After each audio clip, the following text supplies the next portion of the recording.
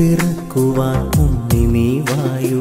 വേദലെ മഞ്ഞള പോലെ ശാന്തിയും സൗഖ്യവും തായും.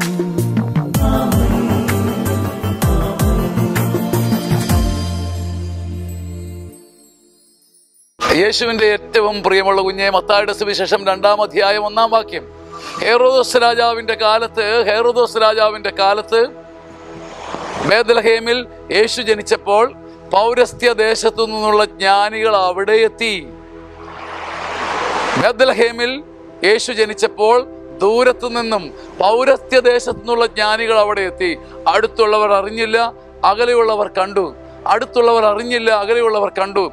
രക്ഷയുടെ കാര്യത്തിൽ സംഭവിക്കാനിടയുള്ള വലിയ കാര്യം. രക്ഷയുടെ കാര്യത്തിൽ സംഭവിക്കാനിടയുള്ള വലിയ കാര്യം കർത്താവ് പറഞ്ഞു നൽകുക. അടുത്തുള്ളവൻ അരികത്തുള്ളവൻ അനുഭവിക്കണമെന്നില്ല. കൂടെയുള്ളവൻ അവകാശമായി കിട്ടിയവൻ അനുഭവിക്കണമെന്നില്ല. പുൽക്കുടിലെ ഉണ്ണിമിശിക എന്റെ കണ്ണുകളിലേക്ക് നോക്കി പറയുക കുഞ്ഞേ നീ അരികത്തുണ്ടായിട്ട് കാര്യമില്ല. അവകാശമുണ്ടായിട്ട് കാര്യമില്ല. അഭിഷേകം അവകാശപ്പെട്ടിട്ട് കാര്യമില്ല. നിന്റെ ഉൾക്കണ്ണ് തുറക്കണം. എന്റെ ജീവിതത്തിന്റെ പരമപരാജയം ഇതാണ്. ഞാൻ അരികത്താണ് പക്ഷേ ഞാൻ അകലെയാണ്.